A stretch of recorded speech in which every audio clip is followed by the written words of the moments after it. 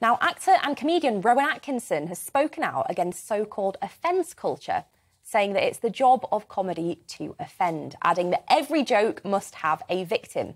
Offence in the world of comedy has been a particularly hot topic in the last few years, with many fearing an increased level of censorship is a genuine threat to freedom of speech. Paul, what do you make of Rowan's comments here? And, and added to that, do you, do you think that's a reaction to the, the Joe Lycett story, whereby he's literally had complaints made to the police about some of his so-called offensive jokes? I'm, I'm sure it is. I think Rowan Atkinson is, is absolutely right. There is now uh, a rigid conformity, I think, in the public square, where if you deviate from that, even if you're a comedian, um, you can expect to be to be attacked. You may get cancelled. In the case mm. of Joe Lycett, even may get your collar felt and be questioned by the police, which I think is insane. The idea mm. that as a mm. stand-up comedian you can go on a stage in front of hundreds of people, sometimes thousands of people who have actually paid money to go and listen to you tell jokes, presumably because they know about your pedigree and they've found you mm. funny before, and the police can come knocking on your door and say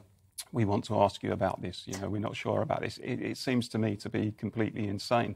And the truth is, Deanna, it's commensurate with the whole culture in this country at the moment, which is an offence culture mm. where people think that if they simply say, I am offended by that, then there should be some action that, that ensues, whether it's by public authorities or anybody else. Well, they're, they're, the buzzwords, aren't they? I'm offended and suddenly uh, there should be It's almost like it's a clincher in debate. Mm. Um, and, you know, whereas once upon a time people would say, I disagree with you, increasingly more and more now they're saying, you mustn't say that.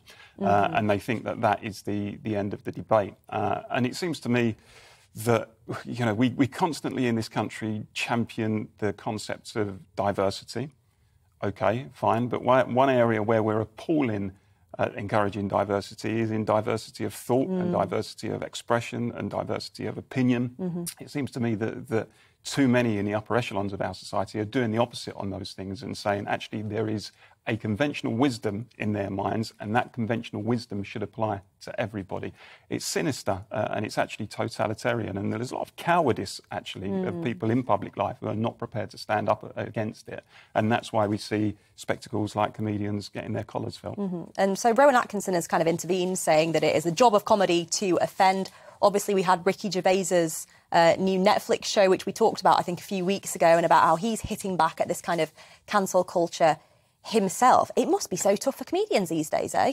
Well, I mean, you have to script yourself, I guess, to within an inch of your life to mm. make sure you're not going to offend anybody. Although some people are big enough, I think, to stand up against that. Ricky Gervais is, is one of them. Um, but there are lots of possibly up and coming comedians who can't risk being cancelled because it's their, it's their livelihood. Mm. Uh, and we've got to get away from this culture that says if you, if you say something that offends me, uh, then somebody should take action against mm-hmm. you. Uh, it's, it's stifling, it's suffocating.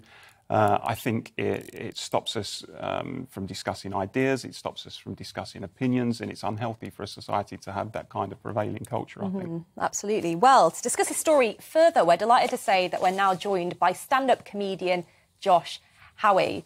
Josh, thank you for your time this morning. Do you think that Rowan Atkinson is fair in his assessment there? That uh, comedy is all about offending people. There has to be the butt of every joke.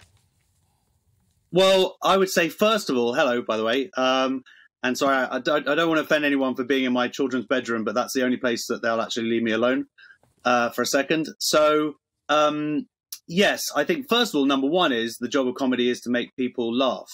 That is obviously going to be the first the first priority.